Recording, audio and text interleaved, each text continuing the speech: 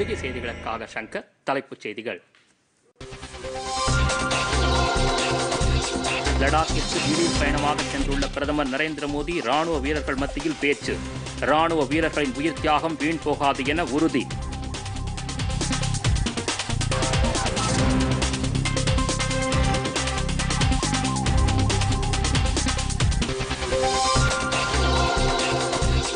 முப்படைகளின் வலிமையை மேம்படுத்த முப்பத்தி எட்டாயிரத்து தொள்ளாயிரம் கோடி ரூபாய்க்கு ராணுவ தளவாடங்கள் கொள்முதல் செய்ய முடிவு.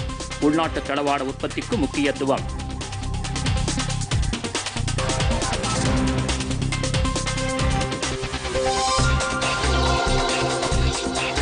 கொரோனா தடுப்பு மருந்து ஆகஸ்ட் பதினைந்தாம் தேதிக்குள் பயன்பாட்டுக்கு வர வாய்ப்பு. பாரத் பயோடெக் மற்றும் தனியார் நிறுவன மருந்துகளின் இறுதிக்கட்ட பரிசோதனைக்கு அனுமதி.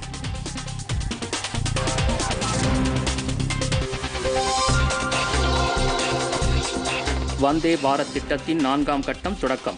பதினேழு நாடுகளிலிருந்து இந்தியர்களை தாயகம் அழைத்து வர ஏற்பாடு.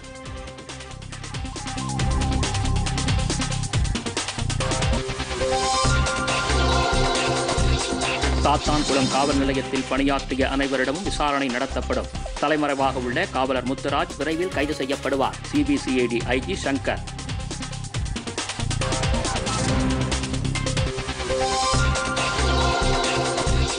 சீனாவின் அத்துமீறிய செயலே இந்திய சீன எல்லை பதற்றத்திற்கு காரணம் அமெரிக்க அதிபர் டொனால்ட் ட்ரம்ப் கருத்து.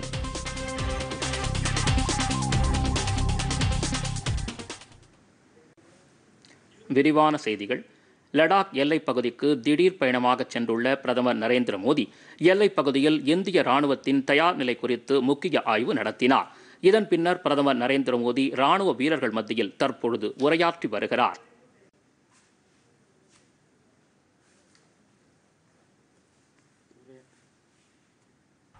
जिन कठिन परिस्थितियों में, जिस ऊंचाई पर आप माँ भारती की ढाल बन करके उसकी रक्षा करते हैं, उसकी सेवा करते हैं,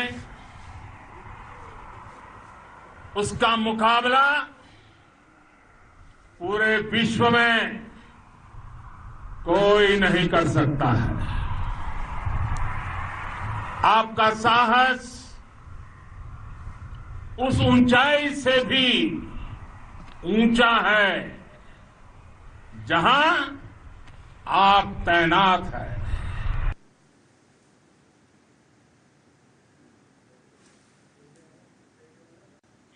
இந்திய சீன எல்லைப் பகுதியில் பதற்றம் நிலவி வரும் சூழ்நிலையில் பிரதமர் நரேந்திர மோடி இன்று திடீர் பயணமாக லடாக் பகுதிக்கு சென்றுள்ளார்.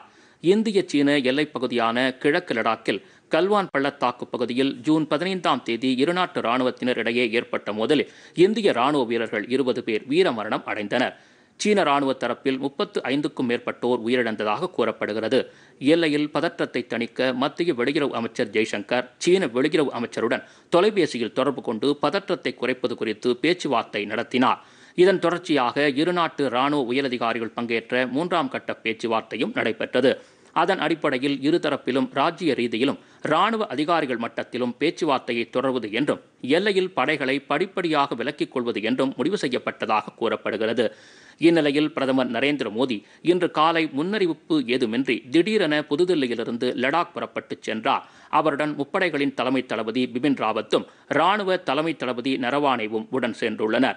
கிழக்கு லடாக் எல்லைப் பகுதியை ஹெலிகாப்டர் மூலம் பார்வையிட்ட பிரதமர் நிமு என்ற இடத்தில் நிலைநிறுத்தப்பட்டுள்ள இந்திய ராணுவ நிலைகளையும் பார்வையிட்டார். இதன் பின்னர் ராணுவம் விமானப்படை மற்றும் இந்திய திபெத் எல்லை பாதுகாப்பு படையினருடன் பிரதமர் கலந்துரையாடினார்.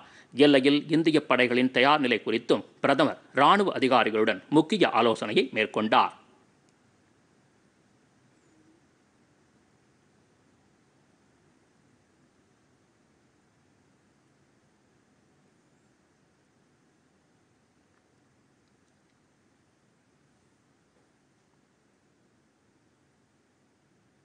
இதன் பின்னர் சீனாவுடனான மோதலில் காயமடைந்து சிகிச்சை பெற்று வரும் இந்திய ராணுவத்தினரையும் பிரதமர் நேரில் சந்தித்து ஆறுதல் தெரிவிக்க உள்ளதாக தகவல்கள் வெளியாகியுள்ளன. சீனாவுடன் மோதல் ஏற்பட்டு எல்லையில் பதற்றம் அதிகரித்துள்ள சூழ்நிலையில் பிரதமரின் இந்த திடீர் பயணம் உலக நாடுகளின் கவனத்தை திருப்பியுள்ளது. இதனிடையே முப்படைகளின் ஆற்றலை மேலும் வலுப்படுத்தும் வகையில் முப்பத்து எட்டாயிரத்து தொள்ளாயிரம் கோடி ரூபாய் செலவில் புதிய தளவாடங்களை வாங்க ஒப்புதல் வழங்கப்பட்டுள்ளது. தில்லியில் நேற்று பாதுகாப்புத்துறை அமைச்சர் ராஜ்நாத் சிங் தலைமையில் நடைபெற்ற பாதுகாப்பு தளவாடங்கள் கொள்முதல் கவுன்சில் கூட்டத்தில் இதற்கான ஒப்புதல் வழங்கப்பட்டது. இதன்படி ரஷ்யாவிடமிருந்து முப்பத்து மூன்று புதிய போர் விமானங்கள் விரைவில் வாங்கப்பட உள்ளன. உள்நாட்டு தளவாட உற்பத்தியை ஊக்குவிக்கும் வகையில் இந்திய தொழில் நிறுவனங்களிடமிருந்து முப்பத்தோராயிரத்து நூற்று முப்பது கோடி ரூபாய் அளவிற்கு உள்நாட்டிலேயே தளவாடங்கள் வாங்கப்பட இருப்பது குறிப்பிடத்தக்கது. கொரோனா தொற்றுக்கு முந்தைய காலத்தில் இருந்ததை போன்ற பொருளாதார நிலைமை தற்போது ஏற்படத் தொடங்கியிருப்பதாக மத்திய வர்த்தகம் தொழில் மற்றும் ரயில்வே துறை அமைச்சர் பியூஷ் கோயல் நம்பிக்கை தெரிவித்துள்ளார். பொருளாதார வளர்ச்சியில் முன்னேற்றமான சூழ்நிலை உருவாக தொடங்கியிருப்பதாகவும் மகாராஷ்டிரா மாநில தொழில் வர்த்தகத் துறையினர் ஏற்பாடு செய்திருந்த நிகழ்ச்சியில் காணொலி காட்சி மூலம் பேசுகையில் அவர் இதனை குறிப்பிட்டார். ரயில்வே சரக்கு போக்குவரத்து சிமெண்ட் எஃகு மற்றும் எரிசக்தி துறைகளில் தொண்ணூறு சதவீதம் அளவுக்கு தற்போது முன்னேற்றமான சூழ்நிலை உருவாகி இருப்பதை அமைச்சர் பியூஷ் கோயல் சுட்டிக்காட்டினார். மகாராஷ்டிரா தொழில் வர்த்தக சபையினர் மேற்கொண்டுள்ள பொருளாதார வளர்ச்சி தொடர்பான நடவடிக்கைகளுக்கு அவர் பாராட்டு தெரிவித்தார். இந்திய சுகாதாரத்துறையை பொறுத்தவரை உள்நாட்டிற்கு உதவி வருவதுடன் உலக நாடுகளுக்கும் தனிநபர் பாதுகாப்பு கவசங்கள் வெண்டிலேட்டர்கள் போன்ற பல்வேறு சுகாதார உதவிகளை அளித்து வருவதாக அமைச்சர் அப்போது குறிப்பிட்டார்.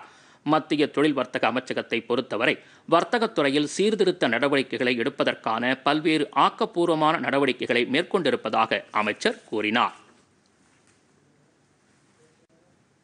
ஏழை மக்களுக்கான உணவு திட்டத்தின் கீழ் அடுத்த ஐந்து மாதங்களில் இருநூறு லட்சம் மெட்ரிக் டன் உணவு தானியங்கள் இலவசமாக வழங்கப்பட உள்ளதாக மத்திய உணவு மற்றும் பொது விநியோகத்துறை அமைச்சர் ராம்விலாஸ் பாஸ்வான் தெரிவித்துள்ளார். பிரதமரின் ஏழை மக்களுக்கான உணவு திட்டத்தின் இரண்டாவது கட்டம் குறித்து காணொலி காட்சி மூலம் விளக்கிய அவர் தேசிய உணவு பாதுகாப்பு சட்டத்தின் கீழ் குடும்பத்தில் உள்ள ஒவ்வொரு உறுப்பினருக்கும் ஐந்து கிலோ கோதுமை அல்லது அரிசியும் ஒரு குடும்பத்திற்கு ஒரு கிலோ கொண்டைக்கடலையும் அடுத்த ஐந்து மாதங்களுக்கு இலவசமாக வழங்கப்படும் என்று கூறினார். இதன் மூலம் சுமார் எண்பது கோடி பேர் பயனடைவார்கள் என்றும் ஐந்து மாதங்களில் இருநூறு லட்சம் மெட்ரிக் டன் உணவு தானியங்களும் ஒன்பது லட்சத்து எழுபத்தி எட்டாயிரம் டன் கொண்டைக்கடலையும் வழங்கப்படும் என்று குறிப்பிட்டார். இரண்டு கட்டங்களையும் சேர்த்து இந்த திட்டத்தின் கீழ் ஒரு லட்சத்து ஐம்பதாயிரம் கோடி ரூபாய் செலவிடப்படுவதாக அமைச்சர் ராம்விலாஸ் பாஸ்வான் தெரிவித்தார். லேசான அறிகுறி உள்ள கோவிட் பத்தொன்பது தொற்று நோயாளிகளும் வீடுகளில் தனிமைப்படுத்திக் கொள்ளலாம் என மத்திய சுகாதார அமைச்சகம் தெரிவித்துள்ளது. அறிகுறி இல்லாமல் கொரோனா தொற்று இருப்பவர்களை வீடுகளில் தனிமைப்படுத்திக் கொள்ள மத்திய சுகாதார அமைச்சகம் ஏற்கனவே அனுமதி அளித்துள்ளது. இந்நிலையில் திருத்தி அமைக்கப்பட்ட வழிகாட்டும் நெறிமுறைகளின்படி மிகவும் லேசான அறிகுறி உள்ளவர்கள் முன்கூட்டியே அறிகுறி தோன்றியவர்கள் ஆகியோரும் மருத்துவரின் அறிவுரைப்படி வீடுகளில் தனிமைப்படுத்திக் கொள்ளலாம் இந்த சூழலில் வீடுகளில் தனிமைப்படுத்திக் கொள்வதற்கான வசதிகள் இருக்க வேண்டும். இதேபோல தொடர்பில் உள்ள குடும்பத்தினர் தங்களை தனிமைப்படுத்திக் கொள்வதற்கும் வசதிகள் இருக்க வேண்டும் என்று தெரிவிக்கப்பட்டுள்ளது. அதே நேரம் ஹெச்ஐவி உடல் உறுப்பு மாற்று அறுவை சிகிச்சை செய்தவர்கள் புற்றுநோய் சிகிச்சை எடுப்பவர்கள் வீடுகளில் தனிமைப்படுத்திக் கொள்ள அனுமதி இல்லை என்றும் சுகாதார அமைச்சகம் தெரிவித்துள்ளது.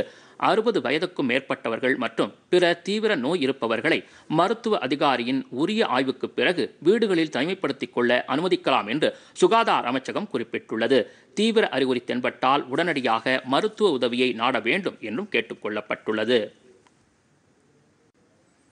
கொரோனா தொற்று நோய்க்கு தடுப்பு மருந்து குறித்த பரிசோதனை முடிவுகளை பாரத் பயோடெக் நிறுவனமும் தொடர்புடைய மருத்துவக் கல்லூரி நிபுணர்களும் ஆகஸ்ட் பதினைந்தாம் தேதிக்குள் வெளியிட வேண்டும் என்று இந்திய மருத்துவ ஆராய்ச்சி கவுன்சிலான ஐசிஎம்ஆர் தலைவர் பல்ராம் பார்கவா தெரிவித்துள்ளார். இது தொடர்பாக அவர் பாரத் பயோடெக் நிறுவனத்திற்கும் சம்பந்தப்பட்ட ஆராய்ச்சியாளர்களுக்கும் எழுதியுள்ள கடிதத்தில் மருத்துவ ஆய்வக முடிவுகள் பரிசோதனை முடிவுகள் ஆகஸ்ட் பதினைந்தாம் தேதிக்குள் கிடைப்பதற்கு ஏதுவாக தடுப்பு மருந்து செயல்பாட்டை விரைந்து மேற்கொள்ள வேண்டும் என்று கேட்டுக்கொண்டுள்ளார். அண்மையில் கோவாக்சின் எனும் இந்த தடுப்பு மருந்தை மனிதர்களுக்கு செலுத்தி பரிசோதனை மேற்கொள்ள பாரத் பயோடெக் நிறுவனத்திற்கு ஐசிஎம்ஆர் அனுமதி வழங்கியது. நாட்டிலேயே முதன்முறையாக இந்தியாவில் உருவாக்கப்பட்ட தடுப்பு மருந்துக்கு அனுமதி கிடைத்தது. மத்திய அரசின் மிகப்பெரிய சாதனையாக இது கருதப்பட்டது. தற்போது அதன் தொடர்ச்சியாக இந்த பரிசோதனை நடைமுறைகள் குறித்த முடிவுகளை ஆகஸ்ட் பதினைந்தாம் தேதிக்குள் வெளியிட ஐசிஎம்ஆர் அறிவுறுத்தியுள்ளது. இதன் மூலம் கொரோனா தொற்றுக்கு ஆகஸ்ட் பதினைந்தாம் தேதிக்குள் தடுப்பு மருந்து பயன்பாட்டிற்கு வர வாய்ப்பு ஏற்பட்டுள்ளது.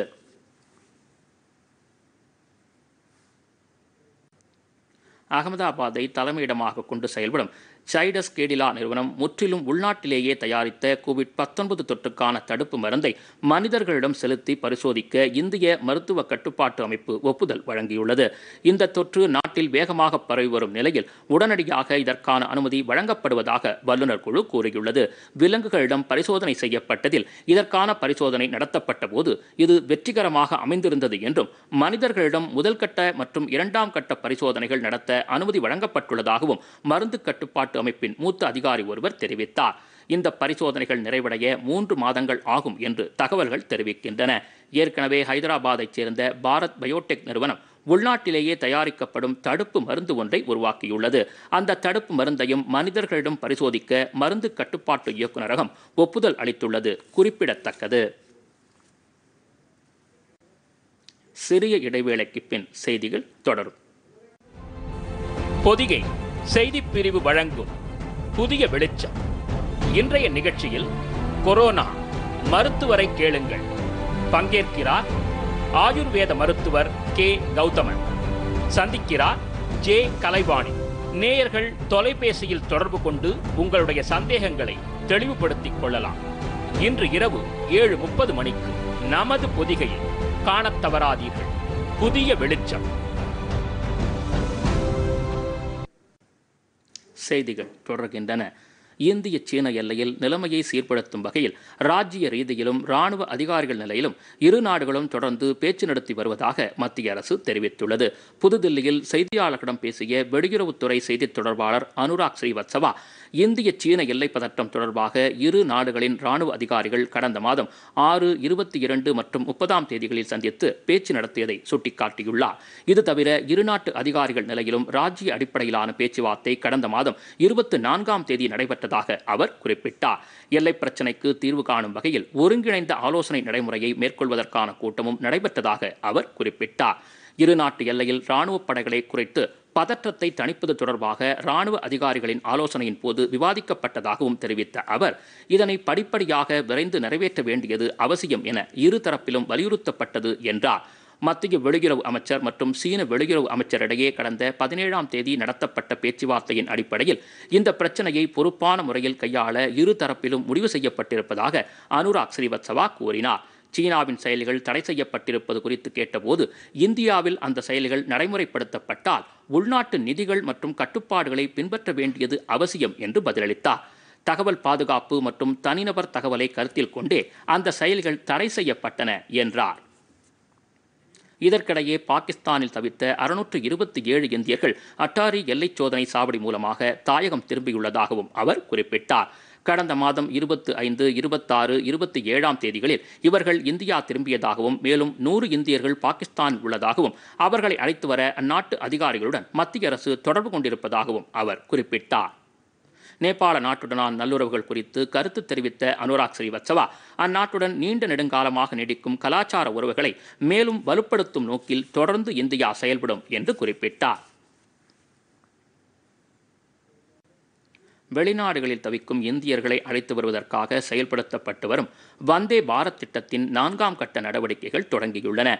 கொரோனா தொற்று காரணமாக அமல்படுத்தப்பட்டுள்ள ஊரடங்கால் வெளிநாடுகளில் உள்ள இந்தியர்கள் நாடு திரும்ப முடியாமல் தவித்து வருகின்றனர். இவர்களை இந்தியாவிற்கு அழைத்து வர மத்திய அரசு வந்தே பாரத் திட்டத்தை செயல்படுத்தி வருகிறது. ஏற்கனவே மூன்று கட்ட வந்தே பாரத் திட்ட நடவடிக்கைகளினால் ஒரு லட்சத்து ஐம்பதாயிரத்திற்கும் மேற்பட்ட இந்தியர்கள் நாடு திரும்பியுள்ளனர். இந்நிலையில் வந்தே பாரத் திட்டத்தின் நான்காம் கட்டம் இன்று தொடங்கியுள்ளது. இதுகுறித்து புதுதில்லியில் செய்தியாளர்களிடம் விளக்கிய வெளியுறவுத்துறை செய்தித் தொடர்பாளர் அனுராக் ஸ்ரீவத்சவா ஜூலை முதல் தேதி வரையிலான காலத்தில் பல்வேறு நாடுகளிலும் ஐந்து லட்சத்து எண்பத்து மூன்றாயிரத்து நூற்று ஒன்பது பேர் அந்தந்த தூதரகங்களில் தாயகம் திரும்ப விருப்பம் தெரிவித்து பதிவு செய்திருந்ததாக குறிப்பிட்டார். இவர்களில் சுமார் நான்கு லட்சத்து எழுபத்து ஐந்தாயிரம் பேர் வந்தே பாரத் திட்டத்தின் கீழ் இந்தியாவுக்கு அழைத்து வரப்பட்டிருப்பதாகவும் அவர் கூறினார். இந்த எண்ணிக்கையில் நேபாளம் பூட்டான் பங்களாதேஷிலிருந்து நிலம் மார்க்கமாக இந்தியா திரும்பிய தொண்ணூறாயிரம் பேரும் அடங்குவர் என்றும் அவர் அப்பொழுது குறிப்பிட்டார். நான்காம் கட்ட வந்தே பாரத் திட்டத்தின் கீழ் ஏர் இந்தியா மற்றும் தனியார் நிறுவனங்களின் ஐநூறு விமானங்கள் இயக்கப்பட உள்ளதாகவும் அனுராக் ஸ்ரீவத்சவா கூறினார்.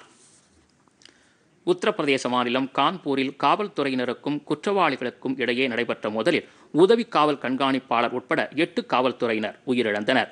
அறுபதுக்கும் மேற்பட்ட வழக்குகளில் தொடர்புடைய விகாஸ் துபே என்பவரை கைது செய்வதற்காக காவல்துறை குழுவினர் திக்ரு கிராமத்திற்கு சென்றபோது இரு தரப்பினருக்கும் இடையே மோதல் ஏற்பட்டதாக காவல்துறை வட்டார தகவல்கள் தெரிவிக்கின்றன. மறைந்திருந்த துபே உள்ளிட்ட குற்றவாளிகளை பிடிக்க சென்ற காவல்துறையினர் மீது குற்றவாளிகள் துப்பாக்கியால் சுட்டனர். இதில் துணை கண்காணிப்பாளர் தேவேந்திர மிஸ்ரா மற்றும் மூன்று உதவி ஆய்வாளர்கள் நான்கு காவலர்கள் உயிரிழந்தனர். இந்த தகவலை உத்தரப்பிரதேச காவல்துறை தலைமை இயக்குனர் அவாஸ்தி உறுதிப்படுத்தினார். இதனைத் தொடர்ந்து அந்த குற்றவாளிகள் அனைவரும் சுற்றி வளைத்து பிடிக்கப்பட்டதாகவும் அவர் குறிப்பிட்டார். காவல்துறையினர் எதிர்பாராத சூழ்நிலையில் கூரை மேலிருந்து குற்றவாளிகள் திடீர் துப்பாக்கிச் சூட்டில் ஈடுபட்டதால் இந்த சம்பவம் நேரிட்டதாக அவர் மேலும் கூறினார். இந்த சம்பவத்தை தொடர்ந்து கூடுதல் படையினர் வரவழைக்கப்பட்டு குற்றவாளிகள் கைது செய்யப்பட்டதாகவும் கைரேகை நிபுணர்களும் உயரதிகாரிகளும் இந்த சம்பவம் குறித்து விசாரணை நடத்தி வருவதாகவும் அவர் மேலும் தெரிவித்தார். உயிரிழந்த காவல்துறையினரின் குடும்பத்தினருக்கு முதலமைச்சர் யோகி ஆதித்யநாத் தமது இரங்கலை தெரிவித்துக் கொண்டுள்ளார்.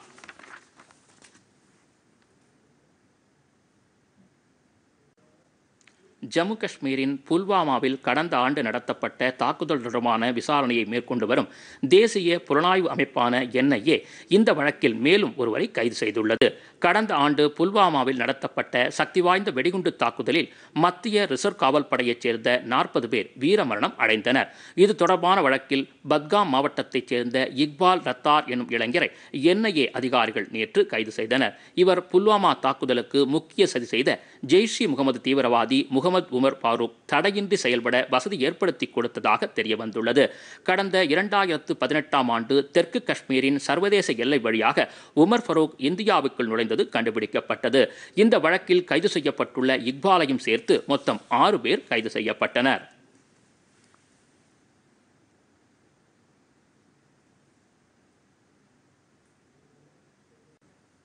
கொரோனா தொற்று காரணமாக ஊரடங்கு நடைமுறையில் உள்ள சூழலில் இனி நடைபெறவுள்ள பீகார் சட்டமன்ற தேர்தல் போன்ற தேர்தல்களில் அறுபத்து ஐந்து வயதிற்கு மேற்பட்டோர் தபால் மூலம் வாக்களிப்பதற்கு மத்திய அரசு அனுமதி வழங்கியுள்ளது.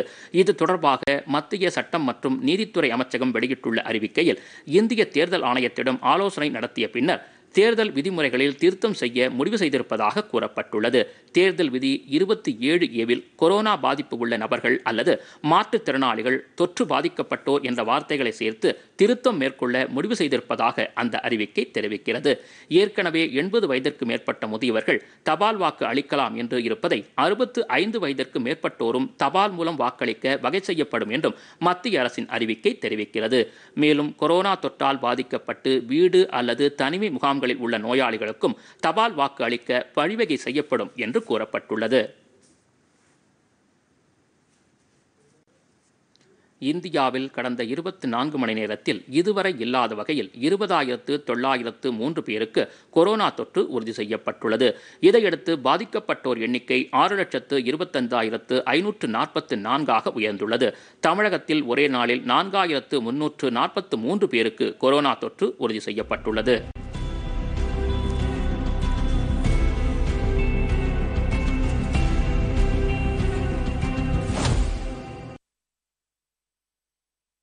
இந்தியாவில் கொரோனா தொற்று வேகமாக பரவி வருகிறது. கடந்த இருபத்தி நான்கு மணி நேரத்தில் புதிதாக இருபதாயிரத்து தொள்ளாயிரத்து மூன்று பேருக்கு பாதிப்பு உறுதி செய்யப்பட்டுள்ளது.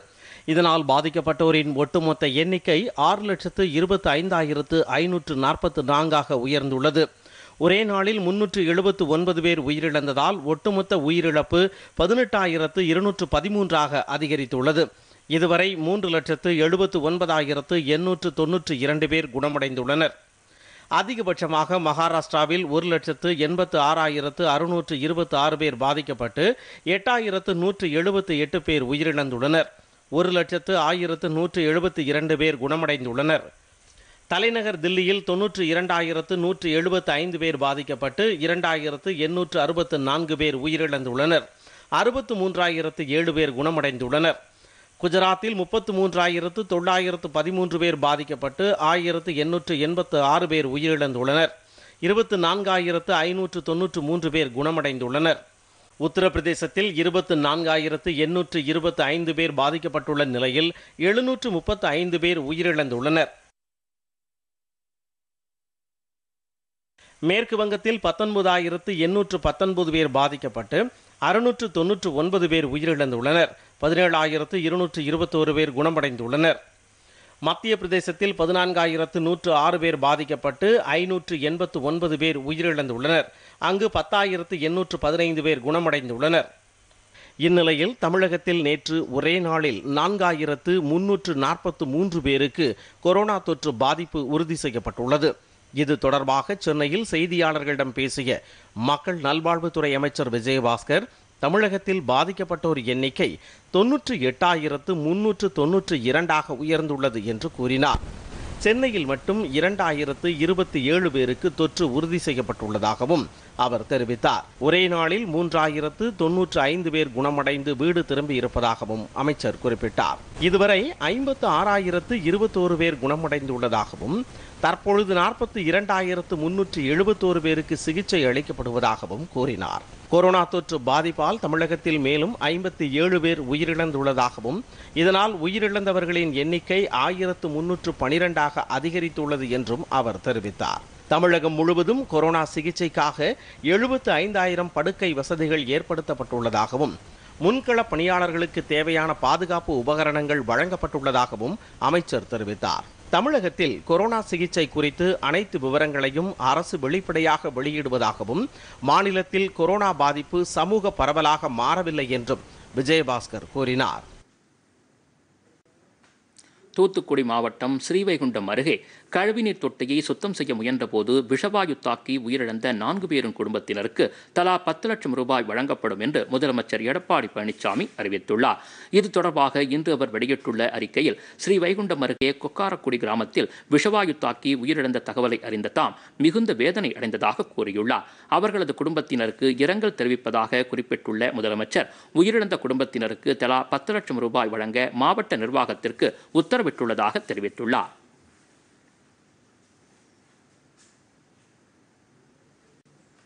ஈரோடு மாவட்டத்தில் வருவாயை இழந்து பாதிப்புக்கு உள்ளாகியிருக்கும் நெசவாளர்களுக்கு சிறு குறு கடன்கள் வழங்க நடவடிக்கை எடுக்கப்படும் என்று பள்ளிக் கல்வித்துறை அமைச்சர் கே ஏ செங்கோட்டையன் தெரிவித்துள்ளார். கோபிச்செட்டிப்பாளையம் அருகே உள்ள தாசப்ப கவுண்டன் புதூரில் இருநூற்று பத்து நெசவாளர் குடும்பங்களுக்கு கொரோனா நிவாரண நிதியாக தலா இரண்டாயிரம் ரூபாய் வழங்கப்பட்டது. இதற்கான நிகழ்ச்சியில் கலந்து கொண்டு நிவாரணத் தொகையை அமைச்சர் செங்கோட்டையன் வழங்கினார். கைத்தறி மற்றும் துணிநூல் சார்பில் ஏற்பாடு செய்யப்பட்டிருந்த இந்த நிகழ்ச்சியில் பேசிய அமைச்சர் நெசவாளர்களுக்கு தொடர்ந்து உதவிகள் வழங்கப்படும் என்று உறுதியளித்தார். பிஜேபியின் மாநில துணைத் தலைவர்களாக பத்து பேரும் பொதுச் செயலாளர்களாக நான்கு பேரும் மாநில செயலாளர்களாக ஒன்பது பேரும் நியமனம் செய்யப்பட்டுள்ளனர். சென்னை தியாகராய நகரில் உள்ள அக்கட்சியின் மாநில தலைமை அலுவலகமான கமலாலயத்தில் இன்று அக்கட்சியின் மாநில தலைவர் எல். முருகன் செய்தியாளர்களை சந்தித்தார். அப்போது இந்த அறிவிப்பை வெளியிட்டு பேசிய கட்சியின் மாநில தலைவர் எல். முருகன் பிஜேபியின் மாநில நிர்வாகிகள் மூன்று ஆண்டுகளுக்கு ஒருமுறை மாற்றியமைக்கப்படுவது வழக்கம் எனவும் அதன்படி தற்போது நிர்வாகிகள் நியமிக்கப்படுவதாகவும் குறிப்பிட்டார். கட்சியின் மாநில துணைத் தலைவர்களாக வானதி ஸ்ரீனிவாசன் நயினார் நாகேந்திரன் உள்ளிட்ட பத்து பேர் நியமிக்கப்பட்டுள்ளதாக தெரிவித்தார். மாநில பொதுச் செயலாளராக கே. டி. ராகவன் உள்ளிட்ட நான்கு பேர் நியமிக்கப்படுவதாகவும் அவர் கூறினார். மாநில பொருளாளராக எஸ். ஆர். சேகரும் இளைஞரணி தலைவராக வினோத் பி. செல்வமும் நியமிக்கப்படுவதாகவும் அவர் அப்போது குறிப்பிட்டார். சாத்தான்குளம் காவல் நிலையத்தில் பணியாற்றிய அனைவரிடமும் விசாரணை நடத்தப்படும் என்றும் தேவைப்பட்டால் மேலும் சிலர் கைது கூட செய்யப்படலாம் என்றும் சிபிசிஐடி காவல்துறை தலைவர் சங்கர் தெரிவித்துள்ளார். சாத்தான்குளத்தில் தந்தை மகன் உயிரிழந்த சம்பவம் தொடர்பாக சிபிசிஐடி விசாரணை மும்முரமாக நடைபெற்று வருகிறது. காவல்துறையினர் தாக்கியதால் தான் ஜெயராஜ் மற்றும் அவரது மகன் பென்னிக்ஸ் உயிரிழந்ததாக புகார் எழுந்துள்ளதை அடுத்து சாத்தான்குளம் காவல் நிலைய ஆய்வாளர் ஸ்ரீதர் உதவி ஆய்வாளர்கள் பாலகிருஷ்ணன் ரகு கணேஷ் உட்பட நான்கு பேர் கைது செய்யப்பட்டு சிறையில் அடைக்கப்பட்டுள்ளனர் அவர்கள் மீது கொலை வழக்கு பதிவு செய்யப்பட்டுள்ளது. இந்நிலையில் தூத்துக்குடியில் இன்று செய்தியாளர்களிடம் பேசிய சிபிசிஐடி ஐஜி சங்கர் சாத்தான்குளம் காவல் நிலையத்தில் பணியாற்றிய ஃப்ரெண்ட்ஸ் ஆஃப் போலீஸ் உள்ளிட்ட அனைவரிடமும் விசாரணை நடத்தப்படும் என்றும் அவசியம் ஏற்பட்டால் மேலும் சிலர் கைது செய்யப்படலாம் என்றும் அவர் தெரிவித்தார். இந்த வழக்கு விசாரணையில் அரசியல் தலையீடு எதுவும் கிடையாது என்றும் தலைமறைவாக உள்ள காவலர் முத்துராஜ் விரைவில் கைது செய்யப்படுவார் என்றும் அவர் தெரிவித்தார். மின் கட்டணம் செலுத்துவதற்கு ஜூலை முப்பத்தொன்று வரை கால அவகாசம் கோரி வழங்கக் கோரி தாக்கல் செய்யப்பட்ட மனுவை சென்னை உயர்நீதிமன்றம் தள்ளுபடி செய்துள்ளது. வாய்ஸ் ஆஃப் தமிழ்நாடு அறக்கட்டளை சார்பில் அதன் தலைவர் ராஜசேகரன் தாக்கல் செய்த மனுவில் ஊரடங்கு அறிவிக்கப்பட்டுள்ளதால் மக்கள் வாழ்வாதாரத்தை இழந்துள்ளதாகவும் இதனால் கால அவகாசத்தை நீட்டிக்க வேண்டும் என்று கோரிக்கை விடுத்திருந்தார். இந்த வழக்கை நீதிபதிகள் சுப்பையா கிருஷ்ணன் ராமசாமி ஆகியோர் அடங்கிய அமர்வு விசாரித்தது. அப்போது தமிழக அரசு சார்பில் ஆஜரான கூடுதல் தலைமை வழக்கறிஞர் கடந்த மார்ச் ஏப்ரல் மாதங்களில் பெரும்பான்மை நுகர்வோர் மின் கட்டணத்தை செலுத்திவிட்டதாக தெரிவித்தார். சென்னை உள்ளிட்ட நான்கு மாவட்டங்களில் ஜூலை பதினைந்தாம் தேதி வரை மின்கட்டணம் செலுத்த அவகாசம் நீட்டிக்கப்பட்டுள்ளதாகவும் அவர் குறிப்பிட்டார். இதையடுத்து மனுவை தள்ளுபடி செய்து நீதிபதிகள் உத்தரவிட்டனர். இந்திய சீன எல்லை பிரச்சினைக்கு சீனாவின் அத்துமீறலே காரணம் என்று அமெரிக்க அதிபர் டொனால்ட் ட்ரம்ப் குற்றம் சாட்டியுள்ளார். நியூயார்க்கில் செய்தியாளர்களிடம் பேசிய வெள்ளை மாளிகை செய்தித் தொடர்பாளர் கெய்லி மெக்னனி இந்திய சீன எல்லையில் சீனாவின் அத்துமீறல்கள் உலகின் மற்ற பகுதிகளில் சீனாவின் அத்துமீறல்களுக்கு இணையாக இருப்பதாக ட்ரம்ப் கருதுவதாக தெரிவித்தார். இந்த செயல்பாடுகள் சீன கம்யூனிஸ்ட் கட்சியின் உண்மையான தோற்றத்தை உறுதிப்படுத்துவதாகவும் அவர் கூறினார். சீனாவைச் சேர்ந்த செயல்களுக்கு இந்தியா தடை விதித்திருப்பதை அமெரிக்க வெளியுறவு அமைச்சர் மைக் பாம்பியோ வரவேற்றிருந்தார். இந்நிலையில் வெள்ளை மாளிகை செய்தித் தொடர்பாளர் தெரிவித்த கருத்து மூலம் அமெரிக்க நிர்வாகத்தின் நிலைப்பாடு வெளிப்பட்டுள்ளது.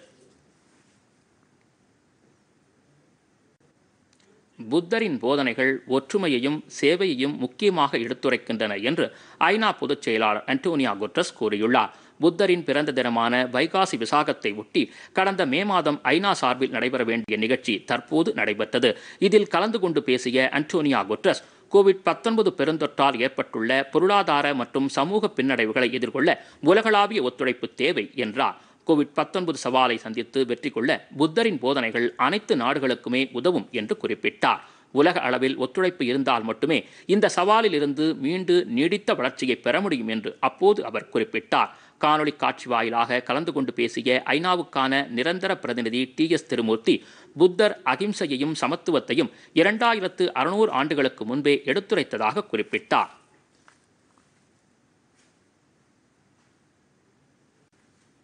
மியான்மரில் ஏற்பட்ட நிலச்சரிவில் உயிரிழந்தோர் எண்ணிக்கை நூற்று அறுபத்தி இரண்டாக அதிகரித்துள்ளது. மியான்மரின் வடக்கு பகுதியில் உள்ள கச்சின் மாகாணத்தில் நவரத்தின கல் எடுக்கும் சுரங்கம் செயல்பட்டு வருகிறது. இந்நிலையில் சுரங்கத்தில் திடீரென நிலச்சரிவு ஏற்பட்டது. இதில் ஏராளமான தொழிலாளர்கள் சிக்கிக் கொண்டனர். அவர்களை மீட்கும் பணியில் மீட்புப் படையினர் தீவிரமாக ஈடுபட்டனர். இதில் உயிரிழந்தோர் எண்ணிக்கை நூற்று அறுபத்தி இரண்டாக உயர்ந்துள்ளது. ஐம்பத்து நான்கு பேர் காயங்களுடன் மீட்கப்பட்டு மருத்துவமனைகளில் அனுமதிக்கப்பட்டுள்ளனர். ஏராளமானோர் மாயமானதாக தகவல்கள் தெரிவிக்கின்றன. நிலச்சரிவு சம்பவத்திற்கு ஆழ்ந்த வருத்தம் தெரிவித்துள்ள ஐநா பொதுச் செயலாளர் அன்டோனியா குட்ரஸ் உயிரிழந்தவர்களின் குடும்பத்தினருக்கு இரங்கல் தெரிவித்துள்ளார். இரண்டாயிரத்து பதினோராம் ஆண்டு உலகக்கோப்பை தொடரில் சூதாட்டம் நடைபெற்றதாக எழுந்த புகார் தொடர்பாக இலங்கை கிரிக்கெட் அணியின் முன்னாள் கேப்டன் குமார சங்ககாராவிடம் சிறப்பு புலனாய்வு பிரிவினர் விசாரணை நடத்தினர். கடந்த இரண்டாயிரத்து பதினோராம் ஆண்டு உலகக்கோப்பை தொடரின் இறுதிப் போட்டியில் இந்திய அணியிடம் இலங்கை அணி தோல்வியை தழுவியது. இந்த போட்டியில் சூதாட்டம் நடைபெற்றதாக முன்னாள் விளையாட்டுத்துறை அமைச்சர் மகிந்தானந்தா குற்றம் சாட்டியிருந்தார். இது தொடர்பாக விளையாட்டுத்துறை அமைச்சகத்தின் சிறப்பு புலனாய்வு பிரிவு விசாரணை நடத்தி வருகிறது. இதன்படி இரண்டாயிரத்து பதினோராம் ஆண்டில் கேப்டனாக இருந்த குமார சங்ககாராவிடம் நேற்று ஒன்பது மணி நேரம் விசாரணை நடத்தப்பட்டது. இதையடுத்து துணை கேப்டனாக இருந்த ஜெயவர்தனைவிடம் இன்று விசாரணை நடத்தப்பட உள்ளது. இதனிடையே இந்த குற்றச்சாட்டை கவனத்தில் கொண்டுள்ளதாக சர்வதேச கிரிக்கெட் கவுன்சில் தெரிவித்துள்ளது.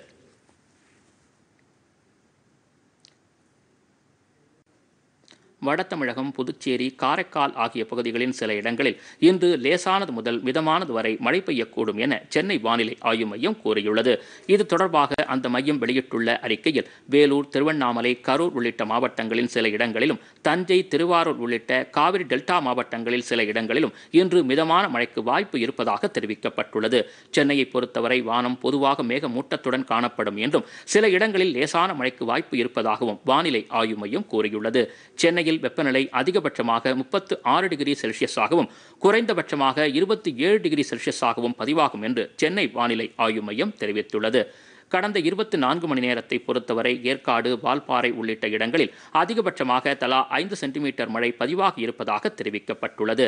சின்னக்கல்லாரில் நான்கு சென்டிமீட்டரும் நடுவட்டம் பெண்ணாகரம் ஆகிய இடங்களில் தலா மூன்று சென்டிமீட்டரும் சேலம் ஜெயங்கொண்டம் அறந்தாங்கி ஆகிய இடங்களில் தலா இரண்டு சென்டிமீட்டரும் விழுப்புரம் கமுதி புதுச்சேரி திருமயம் பள்ளிப்பட்டு கோத்தகிரி காரைக்குடி தரங்கம்பாடி உள்ளிட்ட இடங்களில் தலா ஒரு சென்டிமீட்டரும் மழை பதிவாகியுள்ளதாக சென்னை வானிலை ஆய்வு மையம் வெளியிட்டுள்ள அறிக்கையில் குறிப்பிடப்பட்டுள்ளது. மீண்டும் தலைப்புச் செய்திகள்.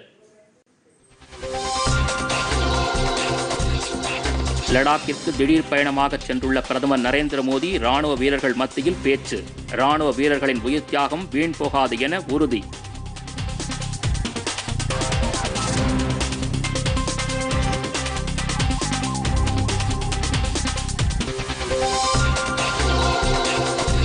முப்படைகளின் வலிமையை மேம்படுத்த முப்பத்தி எட்டாயிரத்து தொள்ளாயிரம் கோடி ரூபாய்க்கு ராணுவ தளவாடங்கள் கொள்முதல் செய்ய முடிவு. உள்நாட்டு தளவாட உற்பத்திக்கு முக்கியத்துவம்.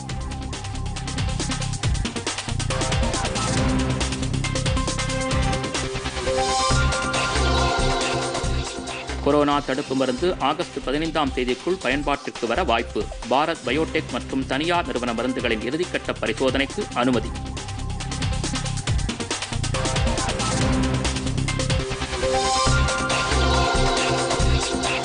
வந்தே பாரத் திட்டத்தின் நான்காம் கட்டம் தொடக்கம். பதினேழு நாடுகளிலிருந்து இந்தியர்களை தாயகம் அழைத்து வர ஏற்பாடு.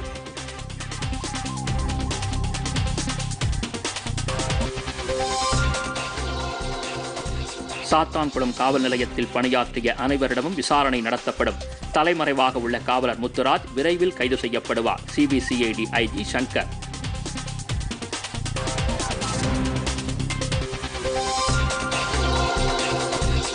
சீனாவின் அத்துமீறிய செயலே இந்திய சீன எல்லை பதற்றத்திற்கு காரணம். அமெரிக்க அதிபர் டொனால்ட் ட்ரம்ப் கருத்து.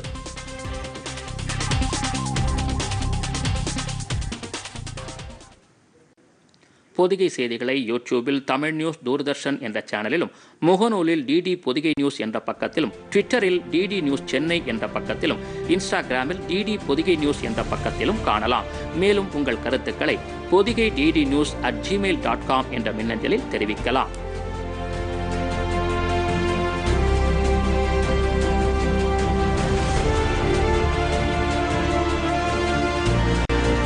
இத்துடன் இந்த செய்தி அறிக்கை நிறைவு பெற்றது மீண்டும் செய்திகள் மாலை ஐந்து மணிக்கு. வணக்கம்.